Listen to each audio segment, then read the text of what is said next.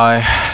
As you might have noticed, my name is still the same. I'm still working at Nordea IT Poland as an IT infrastructure specialist, and today I'm going to present a second short talk about some tricks we're using in connection with log file monitoring.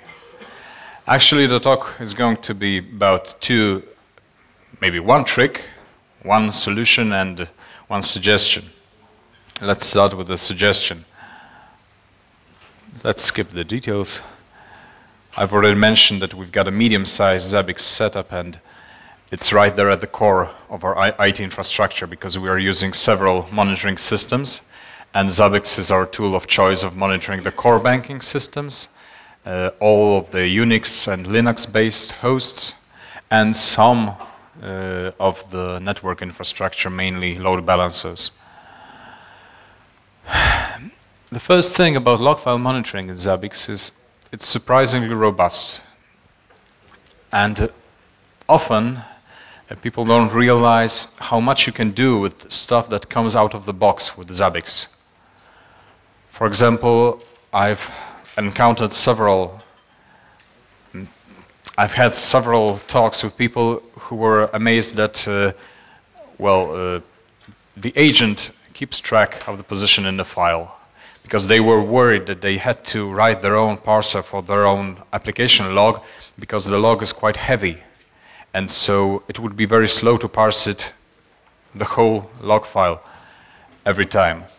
So a few things that you might keep in mind is that uh, the agent doesn't assume any particular log rotation scheme.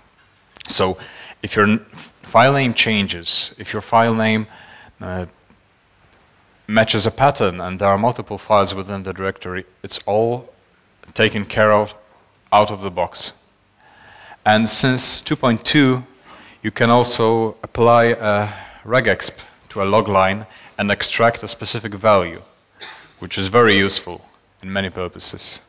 So the suggestion I would like to get across is that it's very easy to under underestimate the possibilities that you've already got inside Zabbix and it's always better to stick with a ready-made tool than to roll your own log parsing system.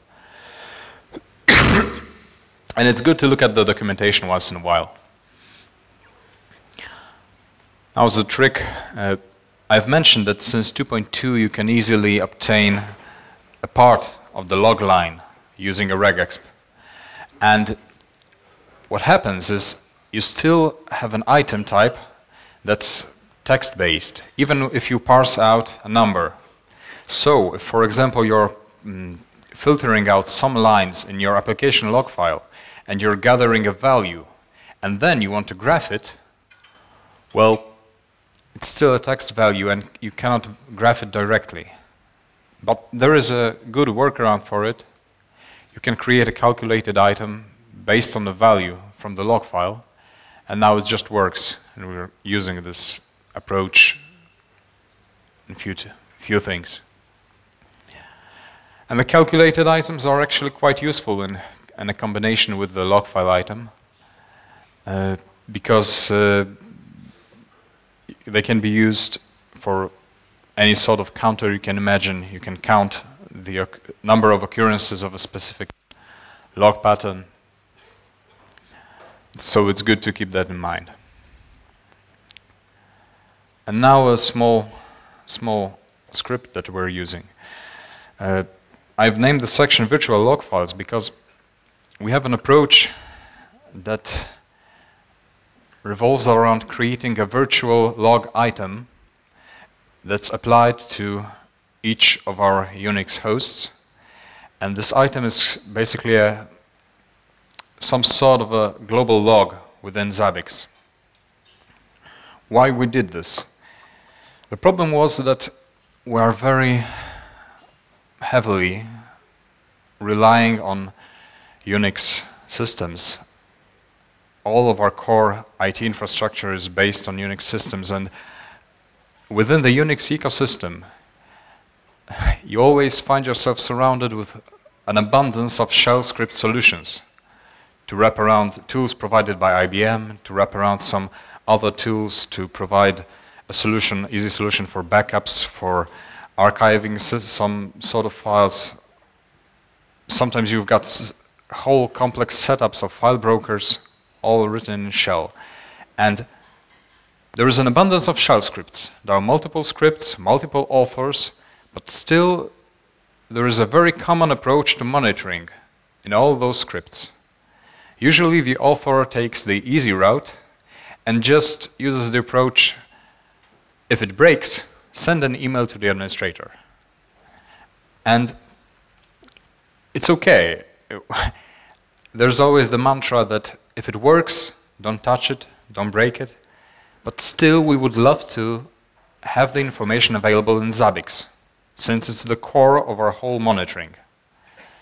So every time you talk to the shell script author and you start to introduce them to Zabbix by explaining the whole host item thing and how things work, you are met with an astonished gaze and uh, a suggestion that, well, he might make those improvements in time. And yet, after a week, after two weeks, nothing changes. So we've taken another approach. We've developed uh, a small script that hides all the Zabbix stuff underneath it. And it can be used as a simple logger in a way that all of our system administrators understand. So we're using this as a simple way to monitor existing script-based solutions, basically as a drop-in replacement for all those lines when there's send an email to the administrator type of thing. And we're applying a single item per host as a trap that's waiting for sent messages. So it's basically a syslog within Zabbix.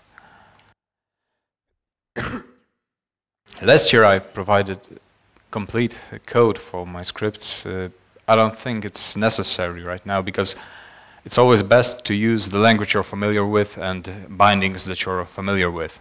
But if anybody wants the complete source code for the script in Perl, feel free to ask me, I'll send it to you. The thing that gets the job done is the send message subroutine and uh, even if you don't want to implement it, you can still use Zabbix sender. What's the most important thing is the usage. And the usage is very important for us because actually there's nothing related to Zabbix in it. You just specify the severity and you specify the message, and that's it. The host is gathered automatically from the Zabbix agent configuration file, and the uh, IP server of the Zabbix, well, it's common to our uh, whole organization. And so uh, this basic script can be used uh, in this manner as a drop-in replacement wherever there is a line, send an email to the administrator within some shell script. What we do in Zabbix then is we wrap around some triggers around this host log item. And the triggers are associated with a host and for example, if it's a database host, every time we encounter a message with the severity of error, Zabbix automatically notifies our database administrators with an SMS message or with an email. So you could say this is a lightweight, lightweight approach to add Zabbix to some existing solutions with uh, the minimal amount of change.